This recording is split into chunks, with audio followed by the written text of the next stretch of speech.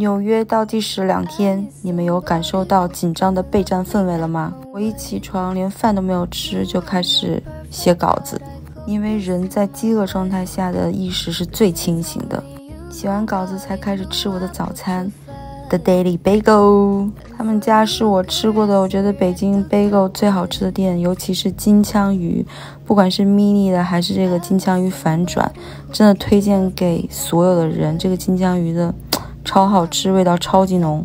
吃完饭就又开始继续上英文课了。最近这段期间，真的感觉像回到十几年前读书的时候。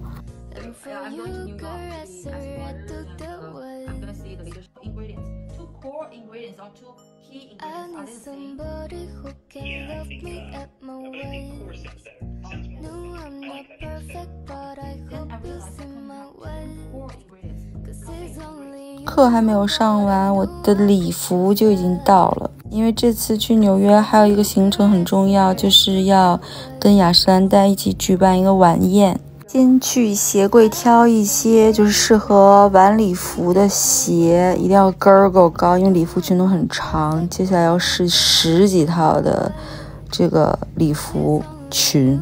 我虽然年纪也不小了，而且又特别喜欢买衣服，又特别喜欢服装和时装，但是我真的几乎是从来没有穿过礼服裙，因为我不知道为什么，我就是特别不喜欢穿礼服裙。我觉得礼服裙上面露，下面露，穿着全身不得劲儿。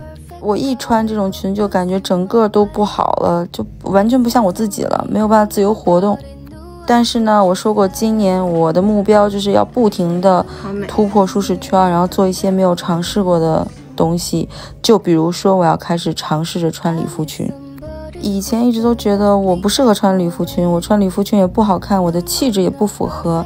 但是其实今天上身了很多裙子，都发现其实还可以，我穿着吧也能挺美。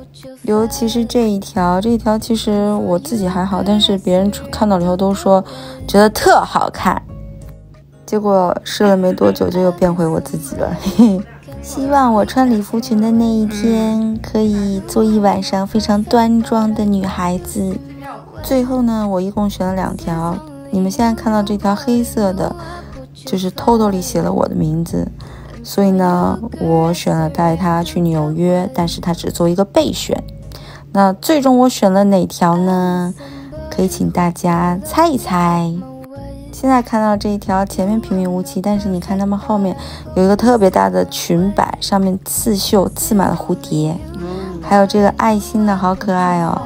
而且我知道这个设计师，他是一个国内设计师，我在小红书刷到过他。啊，你也知道他是我有看过他的那个小红书刷过，然后把他礼服都看重点来喽！今天我试过的所有礼服裙里面，最最最最最喜欢的就是这一条了。就我穿上身以后，我就觉得，哇塞，我是迪士尼的公主吗？是它实在是不适合，就是办晚宴穿，因为。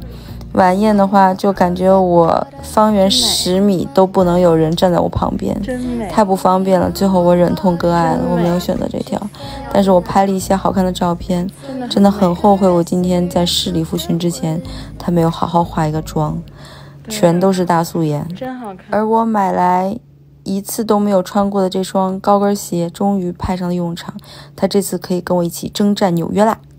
试完礼服裙就马不停蹄的去做我的美容三件套了。第一件事，修眉毛，先把我的眉毛修漂亮。修完眉毛呢，就是去做指甲，是不是很奇怪？为什么我这次没有做那种很好看的指甲？因为，嗯，我之前卸指甲的时候发现我的指甲由于天天做天天做，真的损伤非常严重。你看指甲肉都红了，所以我打算养一段时间，以及接睫毛。我接了一个很漂亮的芭比睫毛，全部都完工以后就回家喽。今天的夕阳真美，从今天开始，我要每天跟自己说一句：“周小萌，你是最棒的。”拜拜。我今天起床发现是元宵节，祝大家元宵节快乐。